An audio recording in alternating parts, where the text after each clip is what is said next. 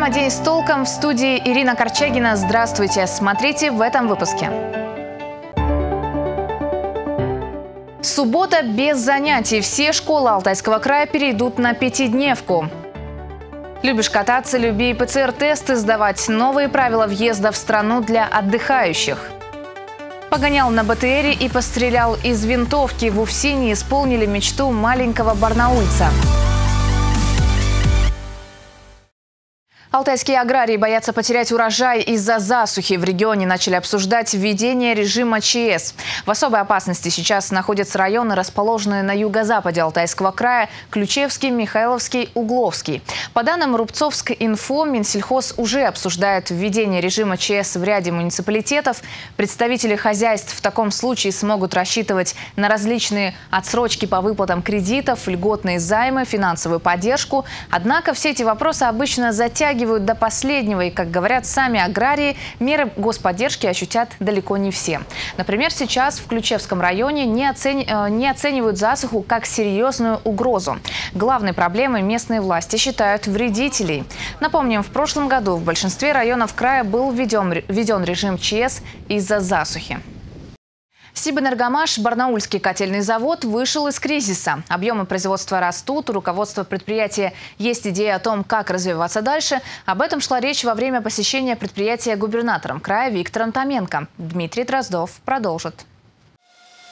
Сибэнергомаш. Пару лет назад предприятие пришлось признать банкротом. Тогда завод сработал с огромным минусом и показал убыток в 119 миллионов рублей. Новому руководству пришлось возвращать к жизни предприятия чуть ли не с нуля. Сегодня Сибэнергомаш показывает стабильный рост заказов на производимую продукцию. И таким образом сегодня контрактами завод обеспечен с хорошей глубиной аж до почти конца 2022 года, то есть следующего года. Поэтому большое влияние завод, конечно, оказывает с точки зрения формирования показателей роста, развития промышленности края. В планах у Сибэнергомаша выйти на рынок Кубы и, возможно, начать производить продукцию для атомных станций. Рост объема производства 60%. Четверть поставок идут на экспорт. Это Гвинея и Индия. Емкости рынка мы оцениваем достаточно позитивно. Несмотря на зеленый а, вектор развития энергетики, то, что мы умеем делать, мы делаем очень хорошо, и оно будет востребовано еще, думаю, не одно десятилетие. Главное сейчас найти правильного инвестора для профильного развития предприятия. Губернатор заверил, что будет оказывать всяческую поддержку в этом вопросе и в дальнейшем развитии предприятия. Ведь завод не только важный для края налогоплательщик, он предоставляет рабочие места. К слову, сейчас на предприятии трудится 800 человек. Кстати, о трудоустройстве и поддержке молодых специалистов, темпах роста заработной платы говорили на пресс-конференции Виктора Томенко с журналистами региона. Было задано 30 вопросов самой разной направленности. Когда появится интернет в селах края, ждать ли нам четырехдневной рабочей недели и предвидится ли дистанционное обучение школьников в этом году? Отвечая на последний вопрос, Томенко заверил, что на данный момент об онлайн-обучении речи не идет. Школы готовы к приему детей. К тому же практически весь школьный персонал вакцинирован вакцинирован от ковид. Однако в целом темпы проведения прививочной кампании главу региона не радуют. Количество вакцинируемых в сутки, да, в день примерно выросло в два раза, в три почти раза от э, первоначальных наших значений. Но, тем не менее, я думаю, что нам надо выходить на цифру более 10 тысяч человек в день. Э, надо выходить. Пока мы на эти э, цифры не выходим, к этим цифрам необходимо стремиться, подчеркнул Томенко, ведь только так возможно снизить печальную статистику вновь заболевших. К слову, по поручению губернатора будет изучен вопрос о создании дополнительных мощностей по производству медицинского кислорода в сутки, порядка 20 тонн. При этом необходимо проработать вопрос об оказании господдержки на создание нового производства. Сейчас недостающие объемы приходится закупать в других регионах и даже в Казахстане. Елена Кузовкина. День с толком. Скоро в Алтайском крае должна начаться вакцинация подростков от коронавируса. Сообщается, что проводить ее будут только добровольно. Так министр здравоохранения Михаил Мурашко заявил, что отсутствие прививки не будет поводом не пускать ребенка в школу. И вакцинировать, возможно, начнут после 20 сентября. Все это обусловлено естественной эпидобстановкой. В третью волну все чаще болеют дети. Подробнее в сюжете. Про вакцинацию детского населения. К сентябрю месяцу мы ждем вакцину для подростковой, нашего подросткового контингента. Думаю, что, возможно, начнем при начале учебного года уже вакцинировать детей. И мы, в принципе, возлагаем надежды на вакцинацию, э, учитывая, что детское население составляет очень большой пласт населения. Э, думаю, что если мы хотя бы подростковое подростковый возраст привьем, э, то это уже создаст какую-то хорошую иммунную прослойку, которая даст возможность остановить угу распространения инфекции.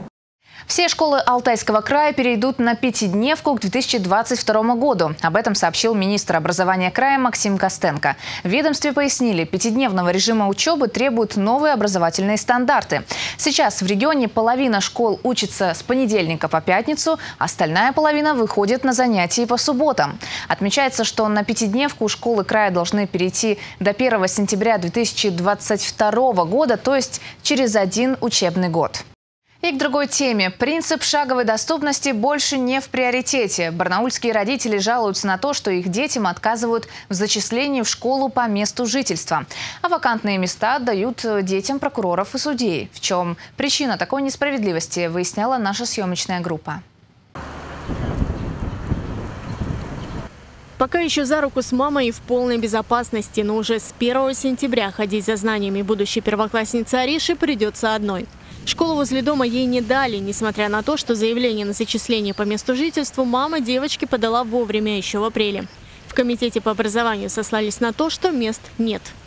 Сотрудникам комитета по образованию было предложена школа номер 31. Данная школа находится в двух километрах от места жительства. А, учитывая наше одностороннее движение, ребенку бы приходилось ходить пешком в нее. Данный отрезок пути насчитывает только 7 пересечений дорог, а, дворы, гаражные кооперативы. А, собственно, я посчитала эту дорогу небезопасной а, и отказала. В итоге зачислили в школу 53, но она тоже в полутора километрах от дома. Провожать и встречать каждый день ребенка возможности нет, Алена работает, да и дочку воспитывает одна. Переживаний за своего ребенка, как он добрался в школу и школы, и неважно, первый класс это, третий, десятый. А, у меня один ребенок, и поэтому переживания будут в любом возрасте. В Комитете по образованию нам пояснили, что принцип шаговой доступности сегодня не в приоритете. В первую очередь э, рассматриваются заявления, те, которые имеют льготу первоочередного права. Затем рассматриваются заявления те, кто имеет льготу преимущественного права, это так э, называемые братья и сестры. И э, третье – это те дети, которые имеют регистрацию на закрепленной территории. Первая категория – это закон о полиции, закон о статусе военнослужащих и закон о социальных гарантиях иным категориям. Адрес закреплен не за одной конкретной школой, а несколько школ за адресами закреплены. Это общая федеральная, общероссийская практика. Поэтому те дети, которые не сказать, во дворе в школу не могут пойти в настоящее время в связи с тем, что есть укомплектованность, первоочередно приоритетная, плюс братья и сестры, и только потом уже те, кто закреплены по месту прописки.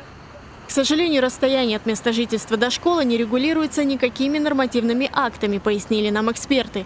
И добавили, что метод зачисления в школу на сегодняшний день крайне непрозрачен. Есть определенные категории детей, которые имеют приоритет при поступлении в школу.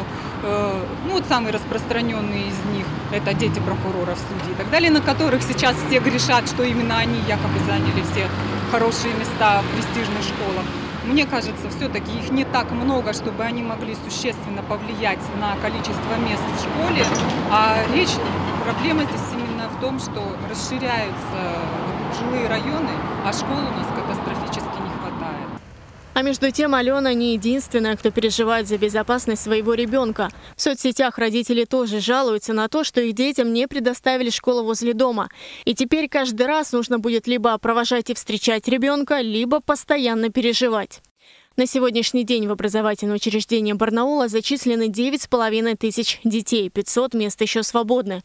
Самая сложная ситуация в индустриальном районе, где, как правило, и живут молодые семьи. Анастасия Дороган, Валентина Аскерова, Алексей Фризин, Дмитрий Денисов. День с толком. Бесплатное жилье, образование и медицина – то, к чему нужно стремиться России. Так считает председатель Центрального комитета коммунистов России Максим Сурайкин, который сегодня провел первую пресс-конференцию в Барнауле. Встречу с журналистами посвятили нескольким темам, среди которых ликвидация коллекторских агентств, закрытие больниц. Сейчас, по мнению Максима Сурайкина, это главная проблема. Сегодня у нас ресурсы ну, в сто раз больше уж точно, чем во время Великой Отечественной войны, да? И да, тогда в этих условиях строили больницы, сейчас они закрывались. Вот если бы не ковид, это там, во многом показуха, да, то бы и не начали строить. С воскресенья во всем мире стартует неделя, посвященная грудному вскармливанию. Казалось бы, все просто, но моя коллега Маргарита Гартунг выяснила, что существует даже несколько техник кормления, профессиональных и даже инновационных. Работу по грудному вскармливанию мы начинаем еще во время беременности. Еще один навык, который пригодится женщине после родов. В Барнаульском роддоме номер два будущим мамам буквально на пальцах показывают, как доносить пищу до младенца. Следующая позиция – кормление ребенка лежа. Мама лежит на боку, строго разворачивается прямо боком к ребеночку, чтобы грудь была как можно ближе к рту. Врачи говорят, только молоко матери питает организм ребенка и защищает его от инфекций. Оно содержит множество живых ингредиентов, включая стволовые клетки, лейкоциты, полезные бактерии, а также ферменты и гормоны. По словам врачей, в последнее время споров за или против грудного вскармливания ведется все меньше. Современные мамы понимают всю важность процесса. Родился у меня сыночек, назвали Артем. А, кормим мы исключительно грудью. Грудное вскармливание я вообще считаю, что это единственное, что в принципе должно быть у малыша. Потому что это его здоровье, это его иммунитет, это правильный рост и развитие. Поэтому мы только на грудном вскармливании. Кстати, методов грудного вскармливания целое множество. Для каждой женщины нужно буквально подобрать индивидуальный подход – Нина Заболотнева уже не первый год работает консультантом, а недавно даже стала автором собственной методики, специально для женщин после кесарево сечения, когда нельзя вставать. Мы поднимаем, ставим большой палец прямо над соском. Четыре пальца ставятся прямо под ребра на уровне соска внизу. Поднимаем сосок в небо. И когда ребенок широко открывает рот, мы берем его и прямо надеваем на грудь, и большой палец вместе с соском проваливается внутрь. Но на самом деле это кажется очень легко и просто, на самом деле это не так просто, как всем даже вам кажется. Следующая семидневка по всему миру объявлена неделей грудного вскармливания. В Барнаульском роддоме номер два за все 83 года существования на свет появилось 230 тысяч маленьких барнаульцев. И почти все они скормлены именно грудным молоком. Маргарита Гартунг, Алексей Фризин. День с толком. На Алтае начался грибной сезон. Грибники делятся в соцсетях полными ведрами, а у кого-то даже поднимается давление при виде грибов. Если вы тоже относитесь к клубу грибников или только собираетесь в него вступить, смотрите наш сюжет. С ножом и азартом по лесу нет, это не маньяк, это грибник Алексей Янкин вышел на тихую охоту. У всех грибников региона наступили эти дни. Каждый день в сообществах жители края делятся своими уловами – лисички, белый гриб, грузди. Я не знаю, с чем это связано, но когда, в общем, я выхожу из машины э, в лес, то у меня поднимается давление, я прям это ощущаю. Я не понимаю, то ли от того, что от дороги по дороге я такой проехал, то ли от того, что во мне просыпается азарт, азарт такой охоты. Найти новый гриб, найти полянку грибов. Основное время э, работа, там, и так далее. Это все находится в городе, и мы приезжаем на природу просто отдохнуть. А грибы – это как такой полезный бонус. Правда, биологи говорят, что в этом году лето в регионе не грибное. Помешали жара и сухость воздуха. Есть районы, которым повезло больше. Не случайно у нас в крае ученые выделяют то 7, то 8 природно-климатических зон, которые отличаются режимом тепла и влаги. Это, наверное, южные районы, юго-западные районы края. Это вот Ленточные бары, Волчихинский, Егорьевский район. Но Алексей все равно доволен сезоном. Недавно два раза ездил в Сосновый Бор и оба раза возвращался с полными ведрами. Несколько часов тихой охоты и потом еще до утра перебираешь. Килограммы грибов Алексей замораживает, готовит из них икру, добавляет в суп, картошку, раздает соседям. Если вы хотите найти грибы, хотя бы подпишитесь на какие-то городские сообщества, и там очень много людей собрано, которые могут вам дать совет, где найти эти грибы. Непонятно какие-то грибы, можете тоже их сфотографировать и прислать ребятам, они тоже э, оценят, стоит собирать этот гриб или нет. Потом очень важный момент – это как не потеряться в лесу. Потому что ты заезжаешь в лес, поставил машину, даже если на возвышенности, то ты отошел на 100 метров, и машину скрыв... скрывают деревья. Обязательно делайте, как спортивные ориентировщики, какие-то заметки. Конечно, о своих любимых лесных полянках никто не расскажет, но опытные грибники хотя бы подскажут примерное направление. И несмотря на то, что лето, по словам ученых, не выдалось грибным, попытать удачу в лесу все же можно. Ирина Корчагина, Алексей Фризин. День с толком. А следующая новость э, для тех, кто еще может позволить себе ездить за границу. Теперь туристы должны предоставить результаты ПЦР-тестов на сайт госуслуг в течение четырех дней. То есть Роспотребнадзор предоставил на эту процедуру еще один день. Напомним и другие правила путешествий. Если вы привиты спутником ВИ, то из европейских стран вы можете свободно отправиться в Венгрию, но в Словакии в этом случае все равно придется сдать тест на ковид. Эта же вакцина гарантирует въезд без ПЦР-теста и без карантина в 16 стран, среди них Болгария, Грузия, Египет, Черногория.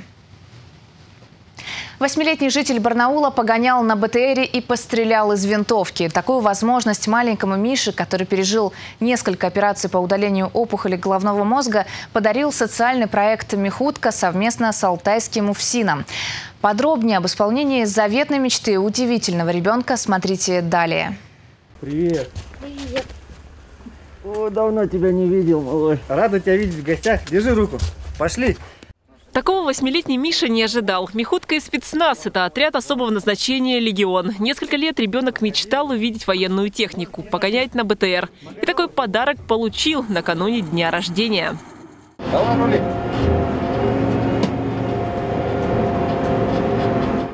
У Миши опухоль головного мозга. Мальчик перенес две операции, сейчас восстанавливается. В свои неполные девять в резкие повороты входил четко и уверенно. Чувствовал себя военным.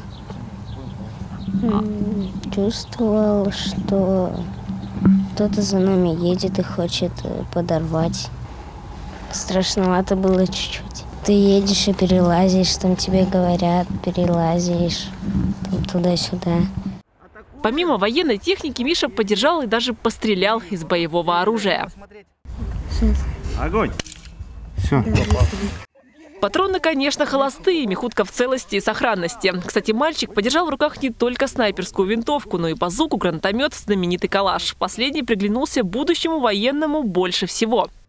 Позитив не только а, малышам, но и нам, сотрудникам, видеть а, счастье в глазах, видели как ребенок был рад с самого э, начала встречи с Мехуткой до того, как мы катались на БТРе, он сидел за настоящим рулем, потрогал настоящее вооружение, пострелял. То есть мальчик, ну, цветет. Как только представится возможность, мама Миши Софья запишет сына в несколько спортивных секций на рукопашный бой и футбол. Ну а сам мальчик после сегодняшних эмоций уверен, что когда вырастет, станет военным и тоже будет исполнять детские мечты, как сегодня исполнили его. Валентина Аскерова, Андрей Печоркин. День с толком. На этом у меня все новости. Смотрите нас на 22 кнопке в социальных сетях. Напоминаю, телефон нашей редакции 205 545. Далее прогноз погоды. Спонсор прогноза – компания «Эволар». До встречи в эфире и хороших вам выходных.